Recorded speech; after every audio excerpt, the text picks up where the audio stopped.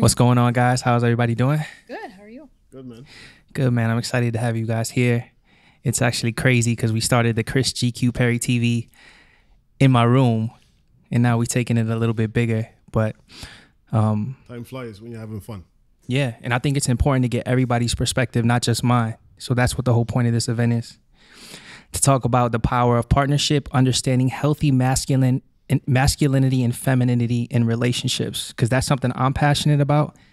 And I would love to get your guys' perspective on that stuff as well. Well, absolutely, we can definitely do that. Um, I do have some experience. I've been married for over four years now. Well, before we, before we even get into that, let- Yeah. let, us let me introduce. Well, you guys can introduce yourselves. Just tell me a little bit about yourselves and what you guys do. My name is Ebony Hattoh. I'm a local entrepreneur. I help uh, Black and minority owned businesses uh, get contracts with the state and federal government. Um, I also teach business classes, and I'm a mom, and I love to travel. I'll pass it on. All right. Well, who doesn't like to travel, right? I guess I should add I've been married for three years. Yeah. Remarried. This is my What are some cool marriage. places you've been to? Um, so I've been to Africa a lot recently, um, but I grew up in Europe actually. So I I've been to a, a lot of European countries that are like surrounding Germany. It's my kind of it's my thing to travel, Caribbean, all that. All that. Yeah.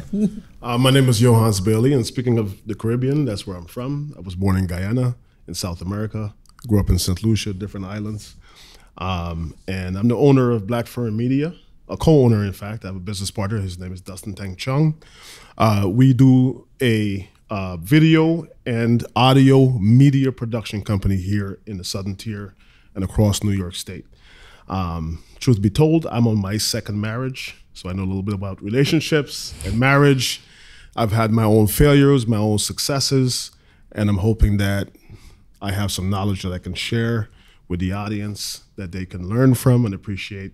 And maybe I'll learn a few things today too. Amen, The cup, the cup is always only half full. sir. My name is Amira Davis. I am the co owner of D5 Consulting Group. Um, I've been married for almost 30 years. Um, from upstate New York, uh, own it with my husband. Um, we like to travel. Well, I like to travel. His idea of traveling is our backyard. That's what he tells me. He said, Why would we want to go anywhere when we can travel in our backyard? so that's where we travel to, is from the backyard to the front yard. Listen, I've seen your backyard. There's, there's, there, I wouldn't leave that backyard. A lot of acres back there. That's, that's a nice, that's a nice backyard. It's a nice backyard. You see it every day. He's like, why would you want to go anywhere else? That's where we can travel to. So that's us. That's awesome. And I I'm glad that I have you guys on the panel because we're getting different perspectives. Having somebody that was married so long, it's just I've only been with my girl for five years and we've been through a lot. Yeah. So 30 years is, is, is amazing. And I'm sure there's a lot of content and, and experiences you can share with us today, as well as Yohance, as well as Ebony. So this is going to be exciting. We are going to touch on topics that are a little uncomfortable, but I feel like that's important because a lot of people don't want to talk about these things. And in 2023, there's so much different perspectives and everybody just freedom of speech is really free, right? So like some of these topics may get a little uncomfortable and I, I do want to touch on them though because it's something I'm passionate about. So going into that, let me just say this. Um, what does healthy masculinity and femininity mean to you? Anybody can go. Man, I don't want to go first. Yeah. Yeah, I hit you with the with the big question first. What what is it? What does that mean to you guys? I think it's subjective, right? It's, you know, being in touch with yourself, but, you know, what it, femininity to me might be different than what it might be to my daughter. So, you know, for me, it's it's being vulnerable. It's being able to um,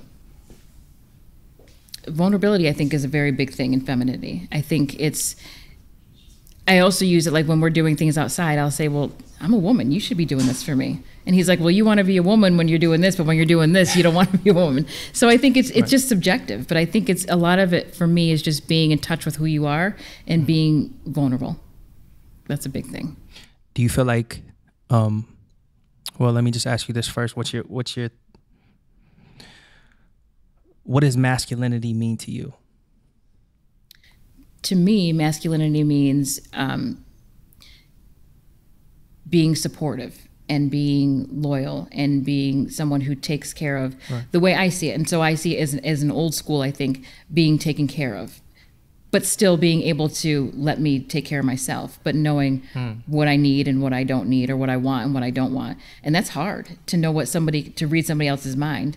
Yeah. You know, he's not the thought police. I wish he was sometimes not all the time, but it's it's hard to know what somebody wants and what somebody doesn't want.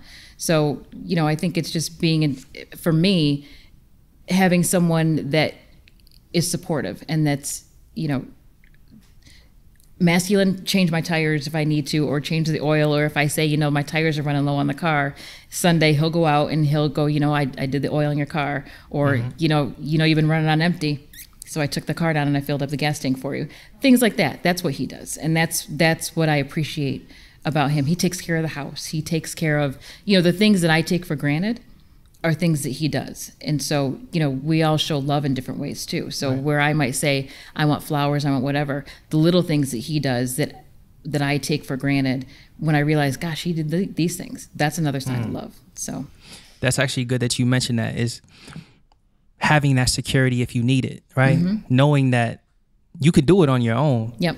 But having somebody to fall back on if you need that is, is an amazing thing. That's what masculinity is all about, is knowing that you can depend on somebody because we live in a generation, things have changed. When you say masculinity in the world today, people think, woman, do what I say.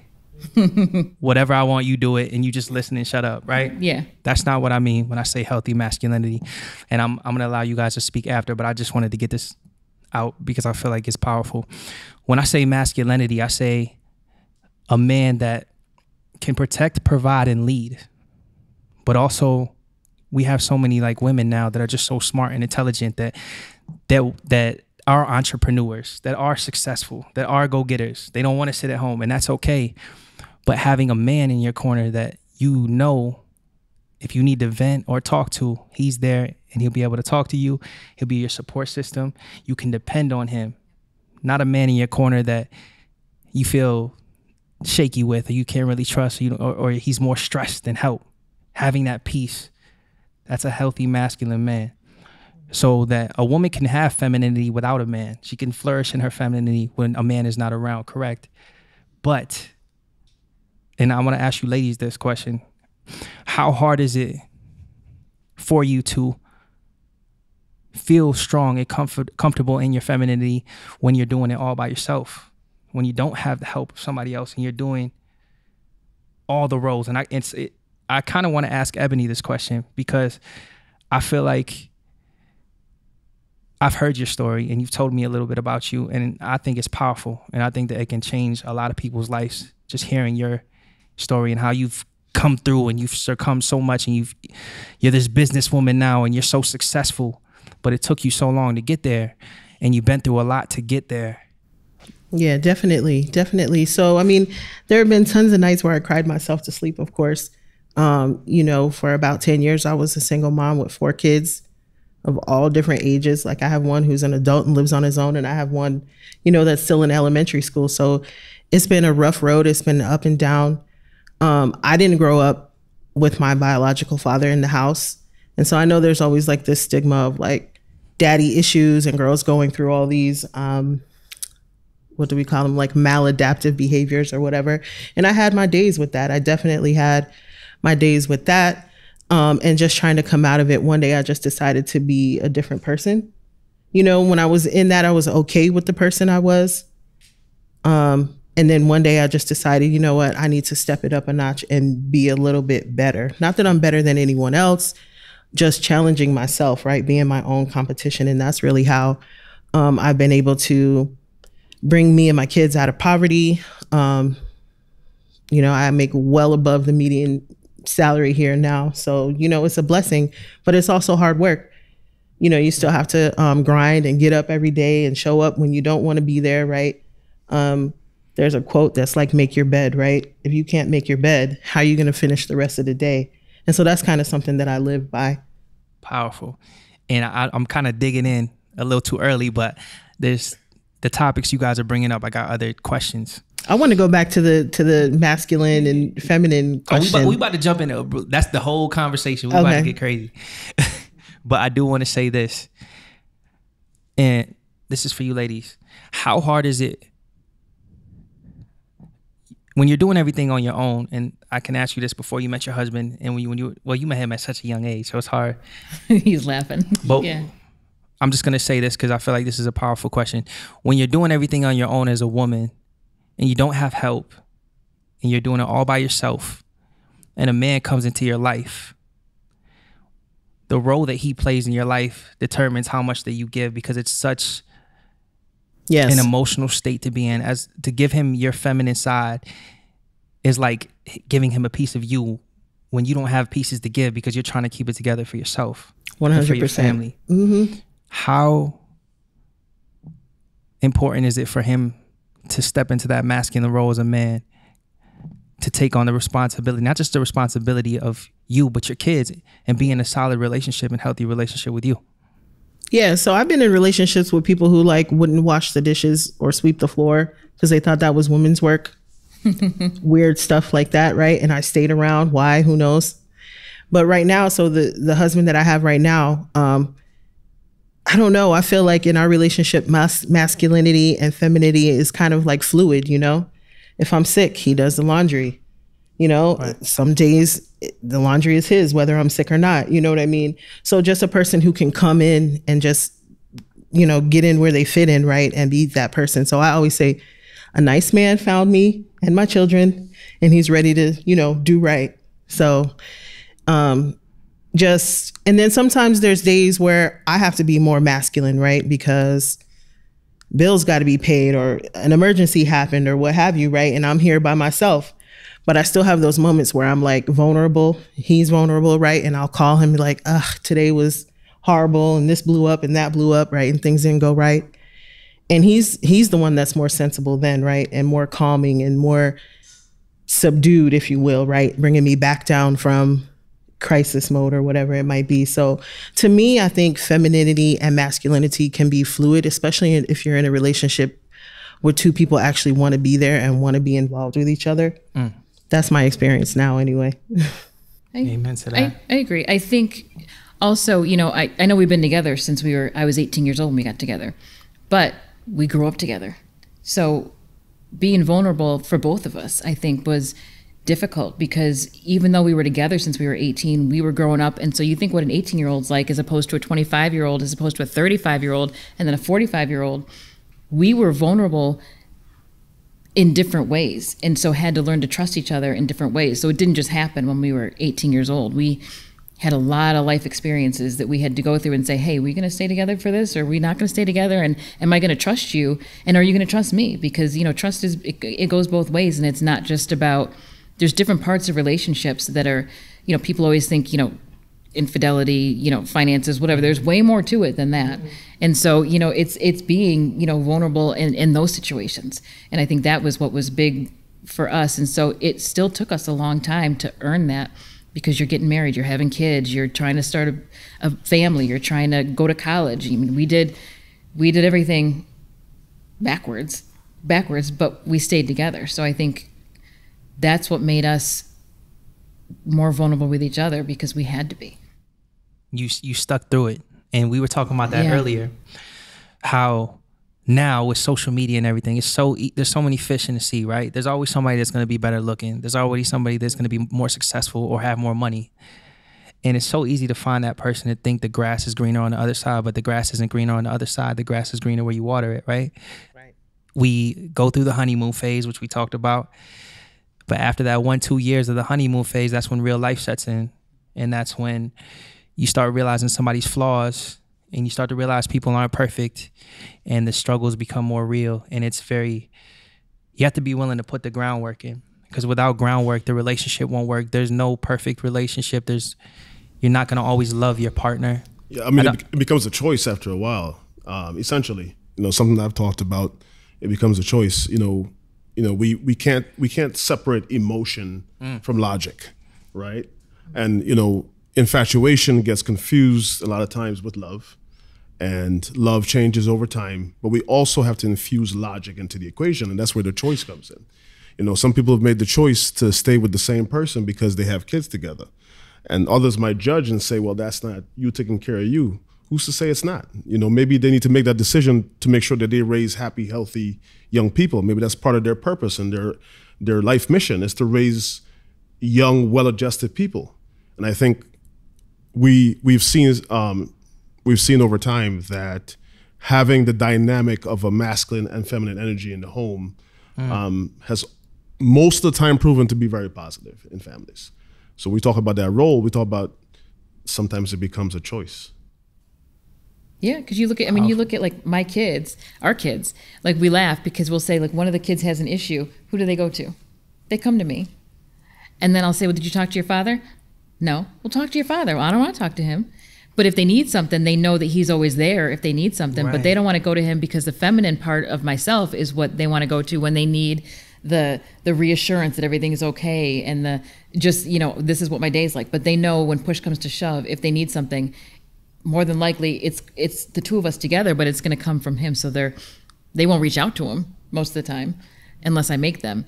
They'll make me do it. But you know they know that if they need something, the masculine he's there. Tell me why it's so hard to, to talk to daddy though. As, why? As a, as a father, like why can't we be approached? Let me. Why, can't they, why can't the kids talk to us? Because you guys are intimidating to them. I think. I think even my my my 27 year old who is he's a big guy. I mean, he's a he's a big masculine guy, and when he's around his father, he's like a little kid again. It's like he he's just you know whatever. And with me, it's funny because the older they get with me now, it's more like he's trying to take on a protector role with me. But with his dad, it's like no, they're like little kids again. All all three of them actually. And with me, it's completely different. So I don't I don't know. I'm with I'm like that with my dad though. Yeah. If I need something, I go to my mom. Yeah. If I if I have an issue, I call my mom. And then she'll tell my dad. And then he'll say, Why don't you tell me? And I'll say, Because it was easier to talk to mom. But you said the key point there like, if they need dad, they can go to dad, right? They can. That's what matters. And, and then I know yeah. we were talking a little bit before and yeah. how um, dad shows them how to mow the lawn and change the oil. Like, yeah. manly things, right? Manly quality, the qualities that men need to learn. And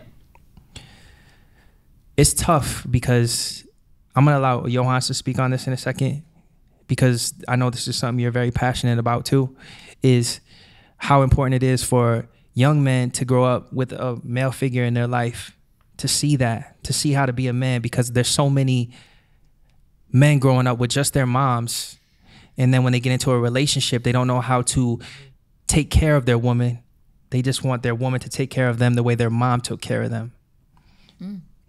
Yeah. And I think that that's a very, that's an issue because then yeah. you notice so many and I'm not trying to downplay moms because single moms do all they can and they're great and they give all the keys. But it's hard because you know there's certain keys that men don't grow up with that they need to see. They need to see a man doing certain things. When I grew up with my dad, you know, I saw my dad. He taught me how to mow the lawn. He taught me how to work outside. He showed me how to play football. He, he taught me, how, showed me through what he did how to treat a woman. And that was very crucial for me because my mom could tell me till she's blue in the face, this is how you treat a woman. I'll be like, okay, cool, but I don't see nobody treating you that way if she yeah. was a single mom. Yeah. And that that's the hard truth. But to see a man do it and implement that into his life, it's like, okay, now this is how you treat a woman. So this is how I have to go into a relationship. And on the flip side, my girl, Brittany, grew up with a very strong father. So for her to grow up with a father figure that taught her what to expect from a man that's very powerful because now she knows if you don't treat me like my dad taught me, treated me, I'm not gonna deal with you because I know what to expect and I know what expectations to hold myself to. It's very important. And even my sister, same thing. Like I know she's been through a lot, but she always has my dad to fall back on. And I know that that's a huge security. Having your dad, having your mom there, having that security blanket, it's just very important in um in relationships. You know. Oh yeah. I mean, so absolutely. how do you feel like you play your role, Yohance? Why do you feel like the masculine role is so important in the in the household? For myself, I, you know, I have over time developed a really good relationship with my uh, my father. Um, but I have examples in my in my life growing up of not so stellar. But I'm thankful that I had a relationship with him and speaking to a lot of what you're saying, where I would go to work with him. He was a a guy who believed, and he, he's, still, he's still alive, so he is a guy who believes in vision. You know, he's a guy that believes in in kind of making you, your world the way you want it to, to, to be by first formulating a plan of execution. Um, and he would talk about when I was a little kid about what he was going to do. He was going to make it to America. Um, he was going to have that white picket fence. He was going to raise his kids in the suburbs, and they were all going to be educated. Well, mission accomplished. But I, I was with him when he was a young man. I was born when my dad was 25. So I kind of, in a sense, kind of seen him ev- evolve over time. And one of the things he was able to do is to work his butt off and, and complete whatever objective that he had in that way.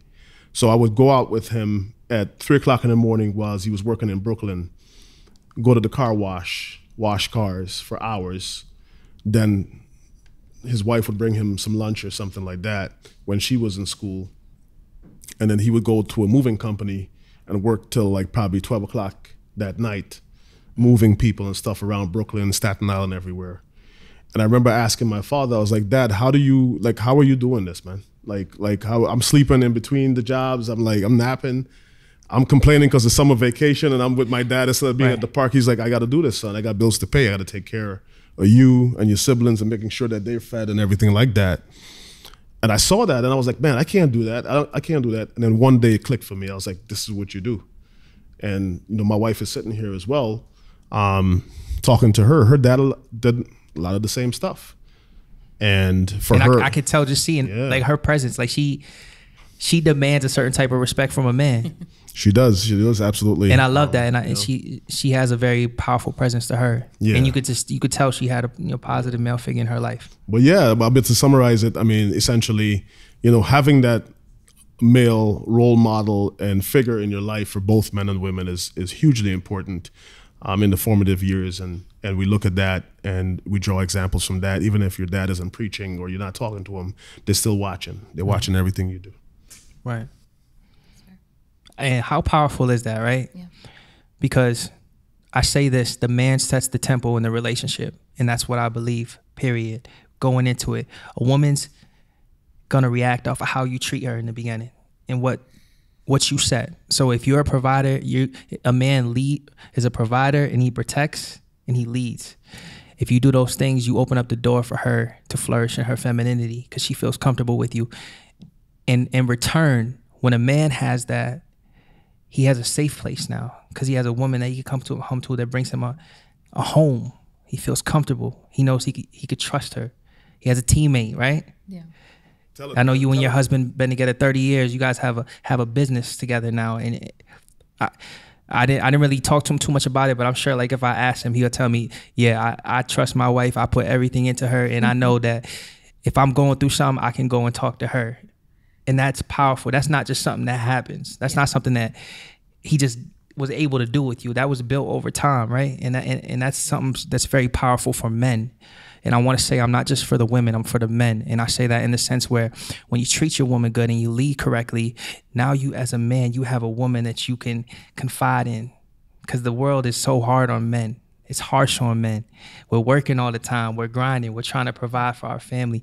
Where is our safe place? Because it's not the world. Because if we're not doing our part, what happens? We're attacked by the world. We're, we're beaten down. We're not good enough. We're not providers who's the person that we can always come to and talk to and vent to or that we're supposed to be able to talk and vent to and that's our woman and how much are we pouring into our woman so that she creates that safe place for us You think sometimes though we take I know I take it for granted because I look at him and I look at what his job is and I look at how busy he is and and the responsibility that he has, that he has and then the kids and then me and then the home. And I think sometimes it's easy for me to take it for granted like why can't you pay attention to me? And then when I think about everything that he's going through while trying to still be the provider and trying to take care of everything I think to myself that's a lot. That's heavy for him. And so for him the way it's easy for him to just close off. And so in my for us to communicate, sometimes we struggle there because I think I'm like I don't understand why you're being this way. And then I think about it and I was like gosh, he's got a lot. On, he's got a lot on his mm. on his plate. And so there's times I need to give him grace and say, "You know what? I, I get it. And so, me, the one who wants to communicate, and he's the one who wants to close off, I just need to say, let him go. Right. Let him go, let him be, and let him have his time. Because, again, being together for this long, we now realize the way we communicate is different, and it's okay, and we'll come together at some point. But where he wants to be the one that's so, you know, he's more closed off than I am. Right. Right. And I was like, why don't you want to talk to me? And when we were younger, it would always be the, you know, chasing him down. Why don't you want to talk to me? Why? Why? why don't-" and Right. and now it's like, you know what? You you go do what you do, and that's it. But that comes with time, too, right? You know, Yeah, I think Yeah. it comes with maturity too. yeah, I know in my first marriage, I was like that too. Yeah. You know, first of all, you're scared to fail. yeah, So then you're like overcompensating for that. yeah, Then you want him to talk to you about everything. but then as you get older, you realize like, um, he'll come and talk to me in his time, right? So Yeah. you just kind of let it go. yeah, And it'll be like, you know, within the next seven days, right? He'll come to you like, oh my God. ah." Yeah. So it goes both ways, you know? It's great. I always say to Sam, I said, you know, his answer to everything, the first answer you ask him a question, it's always no. It- oh, it's it's Yes. always it's it's always no. Or But we'll I- talk I- about it at home. Yep, and I know now I give him time, and then it's probably always going to be yes. But it's just you know you want nope, don't want to do it. That's fine, but then you give him time and he thinks about it and he processes mm. it, and it's just I think it's just his his safety network. Right. he just needs to say no, not doing it. Let's start a business. Nope. Well, that's a valid point because communication, a lot of the issues that, a lot of things that come with questions, especially questions that are hard or when somebody's upset is anxiety, right? So Yeah. it's easy for me to say no right now because I, even just asking me that question, I have a lot of built up anxiety. So give me some time to answer that. And that brings me into this story that I, I love talking about because I read it in a book. And it's, um, this woman was angry with her husband. She was doing laundry and it was a very small laundry room. And she was just like, man, I, this room is just so small. I hate it. Like, why is this laundry room so small? And the man was in the other room and they got into a huge argument. And it all started because, I mean, it was miscommunication in his mind. Her saying that laundry room was too small was saying that he can't afford a bigger laundry room for her and he's not financially where he needs to be. So he reacted out of his anxiety of that. In all reality, she was just frustrated. And women are just a little bit more emotional sometimes, and they sometimes they just have to vent and let things out. So being able to, which takes a lot of practice, step back and analyze why you feel the, the real reason you feel the way that you do before you answer or you communicate with your partner is so important because we just react. And it's not and it's, we only react because it's anxiety. I got a lot of anxiety. I don't know how to react so i'm just to try to defend myself instead of stepping back and trying to understand your partner like okay this is I want to understand why you feel this way and I want to validate your feelings. And then after I validate your feelings, maybe we could communicate. And like you said, maybe it'll just take a little bit of time. It could take a little bit of time for me to process that till I get a little bit better at, at doing that. So that's that's very powerful. Thank you guys for sharing that. I'm, I'm a little extra with it. Like, I, I made Jay take a psychological test before I married her. No, you didn't. I did. Yes, I did. yes, I did. Because I wanted to know like how she processes. Because I have a hard time with the silent the silent treatment. Silent treatment makes me feel like the relationship is over, Yeah. and That's um, fair. I, I don't like that. I, I like to because I verbally process, right? Yeah. And she doesn't. She needs time to think. So I think co- communication, like what Yeah. you guys said, Absolutely. communication and check-ins. For those of you out there that like to uh, give your partner the silent treatment, that's okay. But at the same time, show them the respect of check-ins and say, "Hey, look, I need some space, and I'm gonna get back to you in like a day or so, and we we can continue the conversation." Day or so comes by, you say, "Hey, look, I need a couple more days." Yeah. But just check in, and that's that's part of respect. So, um, yeah, just learning your partner. Um, for me, psychology is huge. Knowing who you're with, how they process, how they think. That's all part of the process. Amen. So we got we jumped ar- around a little bit, but I do want to ask each of you guys some questions, if that's cool. Yep. So um, we'll start with Amir. How has your personal growth as a woman evolved over the course of your long term marriage? Hmm.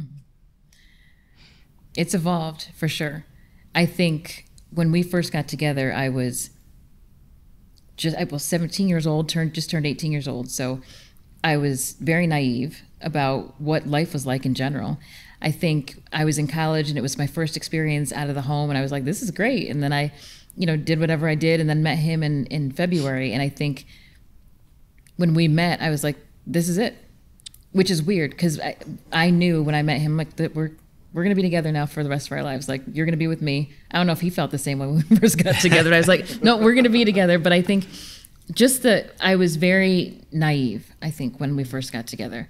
And I think we went so far from, you know, getting together, getting pregnant so fast and getting married. And then I think we did the years like 90, I met him in 92, got had a baby in 93, got married in 94, had another baby in 95. So it was just so much that we had. And then in 96, I was like, huh, are we going to stay together? Because we were having some issues, which is, which makes sense because we mm. were in our 20s. And of course, then that's the vulnerable age where you're like running around going, are we going to be together? Why are you like this? And, you know, he was doing the same because he's growing too. He's, think about an 18 year old man who's got a, a, a bunch of kids and, and this woman that he's not got to take care of. And, you know, we weren't in school, we were going to college. I mean, it was, it was a lot. So I think as time's gone on and our kids have gotten older and matured, I think I've become way more confident in who I am as a person.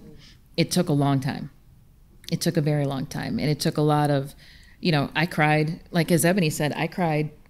I like to cry. So I would cry. I would cry all the time. And he would, I mean, and he's not like that. He's very stoic. So he'd look at me. And of course, at, at one point, I was like, I didn't understand why he didn't react to my crying and I think now I'm at the point where I just I like to cry, and that's and if you don't if you're if you're okay with it, then that's it. You know, I don't need him to react to my emotions the way I did when I was younger, and I think that took a long time because I'm 49 years old now, and so it took a long, long time.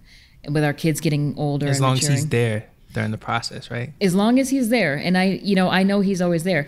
Am I needy? Probably. Still. Do I call him a lot? Yeah, but you know what? He calls me just as much. But it's just you know, knowing that he, I, I, I've never not thought he wasn't going to be there. Mm-hmm. Never. So even with everything we've gone through, and we've gone through a lot, I've never wavered in knowing that he was going to be there at the end of the day. And how hard was that pro? So you, you guys were together for so long. You grew with him. Yeah. You didn't have time to grow by yourself. It was Right. like you grew with a partner. So you had to Yeah. step back and be like, wait a minute here. Like, who am I? Yep. Because we move so fast. Like, Yep. and he had to do the same thing. Like, who am I? Yep. how how is that going to work in our relationship Yeah. and it, what do we have to do to make it work Yeah. because i always say like you have to revisit your relationship every year because people change Yep. so who i am now might not be who i am next year so i want to make sure that me and Brittany are on the same page when we go into our relationship are you still you still want this where we at Yeah. are we moving forward and I think for us, it's it's it's this is us. We move together. We we whatever we do, we do together. So we've grown together, but we've grown and we've just molded. It sounds you know, it sounds like a, a saying, but we've molded. We are one. We are. Mm. And so the way we move is together. And so we grow together. We do whatever. So, you know, even our maturity, it's it's together. It, it just is. And that's just because that's all we've ever, both of us, that's all we've ever known. amen Yeah. so as you navigated through this path while being married what were some of the challenges you faced and how did you overcome them We overcame the challenges of being just young is one. And then, you know, dropping out of college, we put ourselves through both first generation college, put ourselves through college together, raised kids together, you know, got in the workforce together, and then he's in law enforcement. So, on top of the fact of being, um, this always makes me, I always get teary about this, but being a mother of, you know, brown children, it that's a that's something in and of itself and add in the layer of now you've got a man who's in law enforcement so he's got mm-hmm. that dynamic on top of also being a father on top of you know the stuff that he's got to go through. And then my job stuff and it, it it's it was that was one of the hardest things especially with the kids getting older and worrying about you know are they going to be okay? Because then he's got the of course they're going to be okay but then you think well no maybe they're not going to be okay because he remembers what it was like before he was in law enforcement. And now we have the we have the privilege of of his of his position. Hmm. But not everybody has that. And when our kids aren't here when they're out of out of this area they don't have that privilege either. And so i think sometimes they take that for granted as as well. But that's a hard one to deal with because you know on top of the level of our marriage, just sitting there thinking, when your kids leave, are they going to be okay? Mm. Because I think about that all the time. Every I- parent's fear, right? it's it's a fear, and and my son, our youngest, came home. He got pulled over, and he was scared to death, and it was just in my like my my heart just drops, and it's a hard dynamic I think for Sam to to have to deal with, which is again something else that he has to deal with on a daily basis, and so you know I think I do want to touch more on that too. So, Sam being a, you can get a little uncomfortable for a second because, like, you know, being from a small town, it's it's hard for a black man, right? Yeah. My dad was a black recruiter out here. He was he was a man that was struggling for a long time, Yeah. just just to be successful and get through. And a lot of black kids don't have their dad out here yeah there's a lot of poverty, a lot of a lot of people struggling. They don't have the father figure in the home, broken homes, women raising kids by themselves. Um, to see a relationship like you and your husband is very powerful. To and young black kids, a young black man looks at you and be like, "Man, I want I want a family like that when I get older." You know what I mean? You never know who's watching, and, and it's just very important, and it, it's it, to see the structure. And I don't know if you guys realize how many people you might be inspiring, but it's it's a lot. Because even me, you know, I look at your relationship and I'm like, wow, that's truly inspiring. And then I, I just, first of all, I commend you and I respect what you guys are doing, and and, and I love what you guys are shed that you guys are shedding light on these topics in the Yeah. community. Um, I think it's awesome, and I just think it's very important that we need to see more black men in the household taking care and handling their business and Yeah. being held accountable, Yep. so that we can have more strong families. And go, speaking on that to topic, man. Amen to that. That's, that's all I gotta say right now. yeah well, but Yohance, I know you're passionate about that topic. Yeah. I know that's something you really like to. No, yeah. Hardcore. I mean, you know, my my real opinion is this. You know, I, I look at black men in society, um, out there in entertainment and all of it, and they become successful, and you know, sometimes they choose to be with the wonderful people. Um, I'd like to see, I'd like to see some of us, you know, let's consider black women. Black women are beautiful too, and they're super intelligent and they will encourage you to be the best version of, of yourself that you can be. And I, I just got to keep it real. Um, that's how I feel about it. I feel like we need to consider that as an option when you are a successful black man who's trying to do something with yourself. I understand that sometimes we're surrounded by a different crowd, um, but and you know you can't really choose who you fall in love with. But I kind of feel like some of us make a choice to not be with a black woman. Why not? Why not be be with a black woman? Um, you know, does that make me any type of racist or anything like that? I love all people. You know, I love I love people. I love, I love humans. Um, but I love black women. Amen, amen. All right, that's what I got for you, Amir. You're at the hot seat. You're at the hot seat now. That's Uh-oh. it. All right. So since Yohance, you just finished up, we'll we'll actually start back up with you with some questions. Um, what were some of the biggest difficulties you faced during marriage, and how did you and your partner handle them together? Um, going into my marriage, I had a whole bunch of hubris. You know, I thought I had relationships figured out after being, you know, being divorced and sort of dating and and playing the field and so on. I thought I had a few things figured out um, between the psychology test I mentioned earlier and um, just some of the things I've studied about myself. I just had a whole bunch of hubris. I was like, my wife's over there laughing. Um, so, you know, I just had a whole bunch of hubris thinking that I had it all figured out, but I got smacked in the face um, this entre- entrepreneur life and working, you know, building Blackfern Media, um, building, you know, Yohance Bailey Photography before that, building the wedding business, Black Tie Brothers. Um, I got hit in the mouth with simply being extremely busy and forgetting that I had a woman at home that needed my attention as well. And um, there was an old school song back in the day um, when a woman's fed up, you know what I'm saying? And nothing you can do about it. R. Kelly. You know what I'm saying? so um, I know that was R. Kelly, but Yeah. We, we can scratch that out. Take that out of the video. No, no, No, no. leave- leave Not that gonna get me That's him That's a Social. sample. Take that R. out. Kelly sample. If there- That's the good stuff. We need that. don't, don't get me hemmed up. Okay, um, I do not condone, uh, you know. But anyway, uh, but no, was a good song, though. but it it is a good song. It's the art by itself. Let's just take the art right by itself. But um, essentially, you know, forgetting that she needed my attention as well. Um, I would come home and immediately hop on the computer and just start editing pictures. I just took a photo shoot. Blah, blah, blah. I expected her to be there for me, but I wasn't there for her. And one day she said to me, um, "You know, you have a partner, but I don't." And that's that smacked me in the face because I was like, we had such a long honeymoon phase, and I'm gonna get emotional, but we had such a long honeymoon phase, longest honeymoon phase I've ever had in my life, any relationship. We were just obsessed with each other for a year, couldn't be apart from each other um, for any second before we started getting anxiety.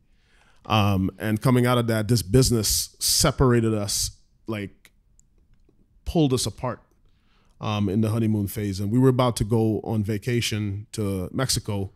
And she said to me, uh, We're not going to go. I go, Why not? She goes, Because essentially, I don't really like you right now. Like, I don't know if I want to spend time with you um, because you don't pay attention to me. And it's all about your camera and your business and all that kind of stuff. So I had to take a step back and, and understand the, the balance of things. so we started making a rule where I come home from work because I was still working as a nurse as well. Okay, so I mean, for us men, we talk about hard work and hustle, but it's still balance, right?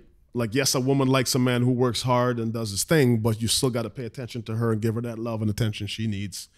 Um, and so I had to learn how, where her balance was at, what she needed from me, and what her love language was. And for her, her like love language was deeds. Okay, so she needed if she asked me to do something, I would dismiss it and be like, "I'm gonna get to it when I get to it. You can't do that." Um, so I, I developed a culture where I was like, if she asked me to do something, I do it right away, so I don't forget. Um, you know, immediate action. Right? And if I can't do it myself, I'll pay somebody to do it. But at least it's getting done. Um, I don't, so I don't dismiss her needs at all. I, I, and she could speak to it too. I asked her. I said, if I'm coming home from work, I go, babe, I'm on my way home.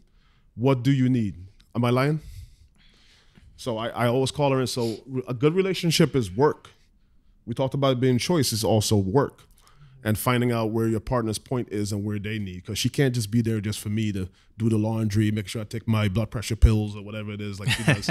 you, know, you know what I'm saying? Like I gotta make sure she got what she need too. So um, her happiness is important to me. It's not just about my happiness. So uh, for us dudes out there and so on, it's just you know we, I got smacked in the mouth with that finding where the middle ground was at. And the way we overcome it is through conversation and honesty. The foundation of our relationship and in my life in general is keeping it real and keeping it honest all the time without exception.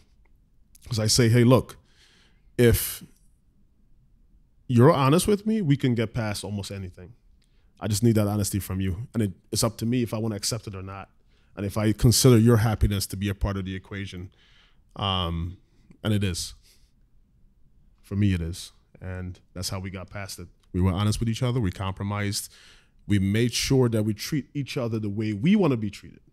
I know people try to popularize the platinum rule. If I don't know you, I don't know how to treat you. But I know what I like. and I like nice things. So I'm going to treat you real nice. You literally just answered every question that I had in the order. So good job. but no, that's that's very great insight. And going back to love languages, that's very important too. And actually, Brittany was talking to me about that because I wasn't huge on love languages until I really understood how important it was to my partner. You know, Brittany's love language is physical touch. You know, just because I think she's gonna like it doesn't mean she's gonna like it. Just because it's my love language doesn't mean it's her love language. So it's very important to know what your partner's love language is, because if you don't know their love language and you aren't giving them what they need, then they're always gonna feel like something's missing, and they always aren't gonna feel loved. You know what I mean? So, Ebony, you ready? Man, I mean, I say it like I say it like it's a game show or something. Newlywed game. Ebony, um, could you share how being in toxic relationships from your past affected your self esteem and overall well being? Yeah, definitely. So, um, I spent actually 20, uh, 16 years in a toxic marriage, like very toxic. Um, not only was it verbally abusive, it was physically abusive. Um, we both went back and forth to jail for beating each other up, like all different kinds of things. So, um, you know, it really just it almost stripped me of who I thought I was. You know what I mean? Like I became this other person who was obsessed with almost getting back or hurting the other person, right? Because they had hurt me or you know, we were going through a season or a phase or whatever it may be. And so I just kind of lost myself. I'm really outgoing, jovial, um, you know, and I, I just kind of just was not that for a lot of years.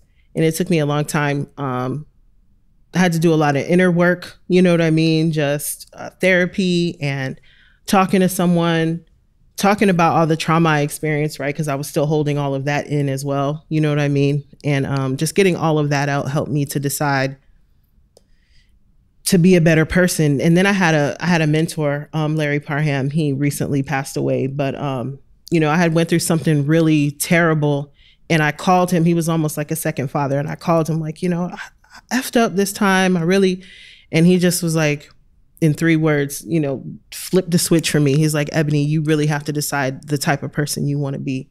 And just hearing that from him was almost like stunning. You know what I mean? Like, wow, this person who I thought, you know, held me up on this pedestal and loved me so much was like, nah, you're actually crappy and you're messing up and you need to flip it around. Right. But he said it in such a loving way, you know? And so um, I thought, you know, I thought on that for a long time. I kind of changed people, places, and things, changed my surroundings, people I was around, and, um, you know, just kind of kept using that to move for forward and propel myself forward. I love that. Do you think that's important too? That's just we talk about this all the time. Who you surround yourself with, mm-hmm. right? Because I think in a marriage, you know, if you surround yourself with people that aren't good for your marriage, it's not good for life. And not just you know, you know, it could be anybody. I mean, the two of us have both removed people from our lives that just weren't good for our family. Mm-hmm. And it's been both of us that have done it. It's not just one of us that have done it, but I think that affects the way you react you know, definitely. yeah. People around you. And you know, I was young too. I got married really young yeah. at, at 18, 19, um, had my first kid by 20. So we have that in common.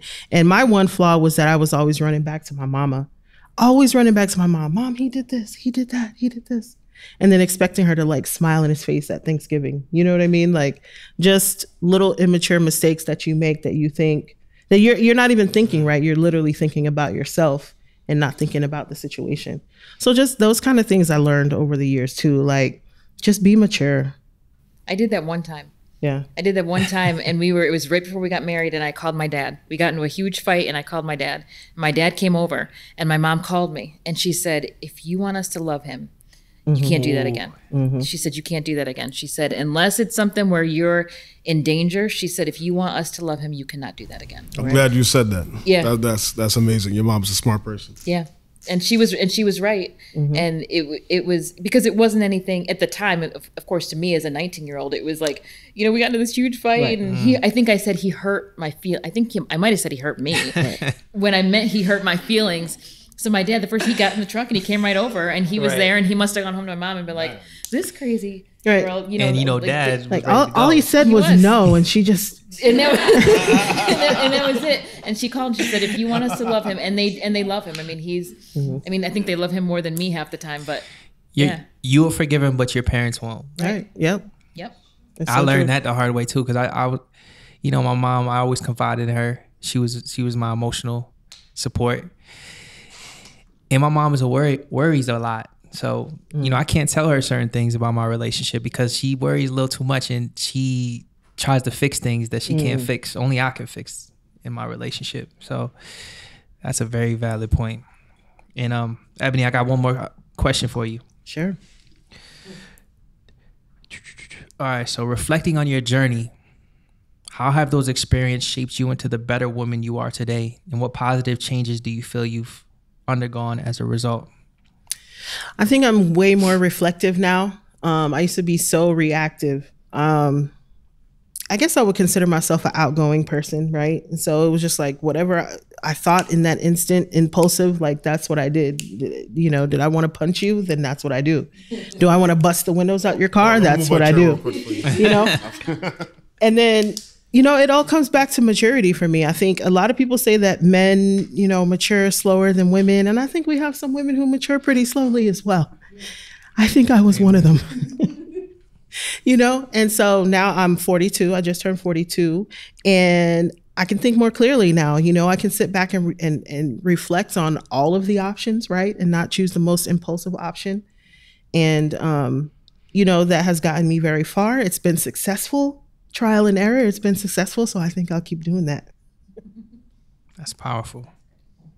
I just want to say, Ebony, like I kind of fell in love with your story over time because you had like, when I first met you, and we sat down and we talked, you just kept it real. You're like, listen, I've been in jail, I did this and that. I was like, you were very honest, kept the straight face, and you you held like you were honest to who you were and what you've been through, and you didn't try to hide it, and you admitted your flaws and how you got to where you are now.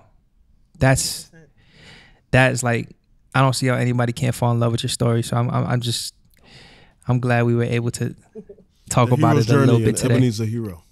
Yeah, That's cool. very much so. A lot of life left to live. Oh yeah, definitely. I mean, I have so many plans, and I mean, now that we're hooked up, you know, I, I can't think of um, any place else that I would rather be than with y'all and helping y'all with y'all plans and just you know making sure everybody's great. Amen. Hey, I got a question for you. You put me on the spot. I actually have I know, I had questions here. I was gonna cut the camera, like cut the. yeah, yeah. yeah. it I got a cut question for in. you. So my questions was right there. I got a question for you. But you can ask me whatever. All right, so let's go. What, what are some of the struggles that you you went through? I mean, that you've seen that your parents That uh, was on, went that was on the list too. and how you how you. I got you. Okay. Yeah. How how'd you? uh Some of the struggles that you've seen with your parents and how they got over it, and what did you learn from that? Um, my mom and my dad had struggles growing up where they felt like they wanted to give up on the relationship, and they didn't want to continue. And I think that that's the point in a relation. Everybody's going to go through that point in every relationship where they're like, do I want to continue? Especially after 5, 10, 15 years. They didn't give up on us. They, they stuck together while me and my sister were growing up. And it wasn't always easy. There were arguments, there were fights, but they worked through it. And I think that that's the most, that's the biggest key in that whole relationship and what I saw was my dad never gave up on my mom, and my mom never gave up on my dad. My dad still provided. He wasn't like, you know, I'm done. You know what I mean? You take care of it. You handle it yourself. No, my dad made sure we were well taken care of. My mother was there as my support system, even though she was going through what she was going through. And I think that that's important. And it takes a village to raise kids, right? Like it's not just the mom and the dad. It's the aunts, the uncles, the the brothers, the sisters. Like it's so important to just have that family dynamic. And there's so much child trauma that occurs when you don't have a parent and these children are growing up and they don't have that support system and they're missing something and they they, they grow up and they're already set up for failure. The level of it's like you have to work through these. You already have to work through enough when you have both your parents. So now when you have one parent and you're going through childhood trauma, it's just so hard to get through and get by because you're already set up for failure. And it's like the whole point of this and what we're doing here and talking about masculine and feminine and the roles and relationships and why it's important to have a man and a woman in the house is to support the idea of having the male, the mom and the dad. They might not be together, which is fine but understanding their role in a relationship and not leaving their kids to do it on their own. Building that support system and understand that the men have to be held accountable. Mm-hmm. Women have to be held accountable too. Mm-hmm. Yep. and that's the message i really just want to deliver it's healthy masculinity and femininity and the importance of it in relationships. And that's just my my views and on this whole discussion you know Appreciate it. and um, I was gonna have you ask me some questions, but I feel like we t- we we touched enough on on the general topics. I got a question for you though. I got. But if you got questions, okay, let's Yeah, go. this is a Oh, I, good s- I one. see you got a list right Yep, there. this is a two part two part question. What are some of the struggles you saw your parents go through? And part two, how did it affect your view on relationships? Ooh, that's some good questions. Um, some of the struggles I saw my mom and my dad go through was my dad was in the military. He was active duty for a while, so he was traveling a lot, and my mom was taking care of us by herself a lot, and that was really hard on her because my dad wasn't around. He was working. He was trying to provide for the family. So um, that led to like a separation at one point in the relationship, and it was hard for them to be emotionally connected, and I'm sure it created doubts within the, within the relationship. My dad deciding if he wanted to be with my mom, and my mom deciding if she wanted to keep dealing with that. You know, so that that was a very tough um, period of time that they they worked through, but it, it wasn't easy. It's uh, relationships have ugly moments like that, you know. And what was your second question? How did it affect your view on relationships? Um, and I'm just gonna go back to what I said is, it made me realize that relationships aren't perfect, and you go through things, but you get through them, and you do what's and you do what's best. And it, it, I do say that to say this too. If you're in an abusive, toxic relationship where you guys are beating each other up and fighting, it's much more healthy to be apart than to be together. But if you can work through it and you can make it work, and you guys are both committed to making it work, and you have kids involved, then it's I would 100% say go back up the bat and try again. And I say, you know, when I talk about Sam and I, I said, you know, we're not perfect. I mean, how many times did we say we were going to separate? Every, I mean, when we first got together, we were all like, "We're separated. That's it. We're Yes, Sam, separated." tell us. we, I mean, we were always saying we were separated, but then as as time went on, you know, we're not doing this anymore. Mm. So it was just, you know, the immaturity of being, you know, teenagers and then late twenties and then whatever. We're not together anymore. We're not, well, we're still together. It's just, you know, and then you cry and then you lose ten pounds. And I wish I could lose ten pounds like I could then, where you wouldn't eat and you wouldn't. When I'm like now, I'm like I'm not gonna not eat because we're fighting. Right. You know, I'm not gonna not. We'll be good in a week. We're good. We'll be good in a week, or like the you know the bed. Like I like my bed. I'm not not sleeping in my bed, so we're gonna sleep in the bed together. Yes. and Right. we're we're gonna Just be back to back, right? Back to back, and that's gonna be the way it is. But you know, it's not easy, and I don't ever want anybody to think you know for us it's not. It wasn't. It wasn't easy, and our kids, one of the especially my youngest will say because he's much more vocal. He'll say, "I remember you and Dad fighting." And you know everybody's view, every child. Don't you think every child's view of a relationship is different? Because mm-hmm. my three kids will all say three different things about a relationship when they were all doing the same thing i was like that's not what happened hmm. so you know it's just by the way they grew up you know my younger one's like you know i remember you guys yelling at each other. And the middle one was like i would i would be there when you guys were yelling at each other and i would take care of the younger one. I was like no you didn't. But he's that's how he saw it. So maybe he did and we just didn't see that.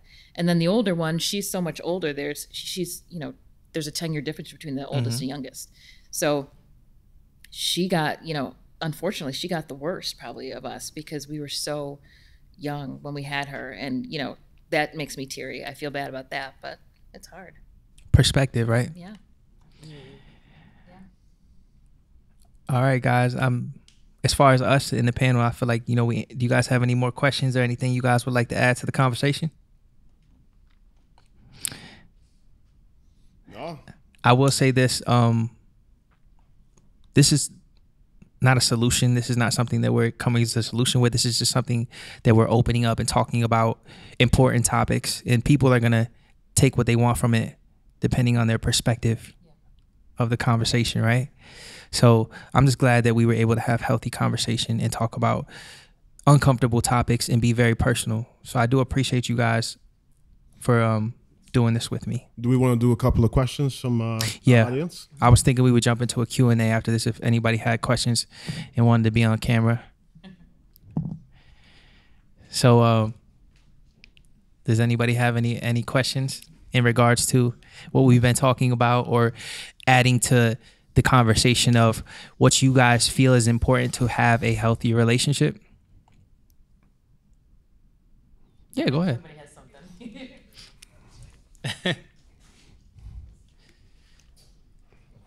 All right. Um, I, obviously, uh, Amira is my wife, and I, I love her dearly. So I guess I'll ask uh, the, the question now, and, and I'm hoping you're, you're completely honest with me. Um, do you feel, after everything that we've gone through, where we are right now, uh, in the midst of our relationship, our life, and, and what we're trying to do as parents. Are you happy with where you are right now? You put me on the spot. Ab- absolutely, Abs- absolutely. And and if not, what what can I do to make things better for you? Right? I appreciate that you asked me that. I think it, it probably made you think a little bit too. And, I, uh, you know, I am happy. And I said this a, a few days ago, you know, I think we're in the best place that we've ever been. I think there's still outside things that, that will affect us, but I think we, I always say we do it together. So, you know, I get teary when we talk about it, hmm. but I am, I'm, I'm, I'm the happiest we've ever been. And I think, you know, just we communicate hmm. one of the things I think we do is, you know, when we talked about communicating with each other, you were talking about the psychology tests and stuff.